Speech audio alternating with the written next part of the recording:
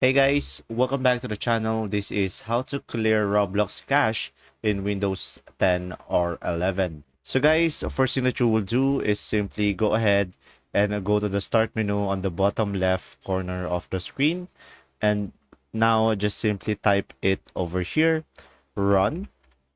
And from here, just simply click on this, run by a system.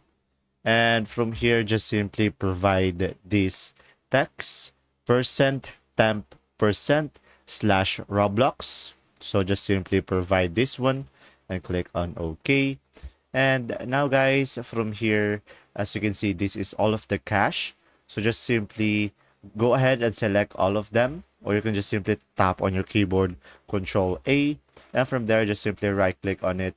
And from here just simply click on delete. And from there guys you should be able to delete the cache in your roblox and after that you should be able to clear it. If this video was helpful please like and subscribe and thanks for watching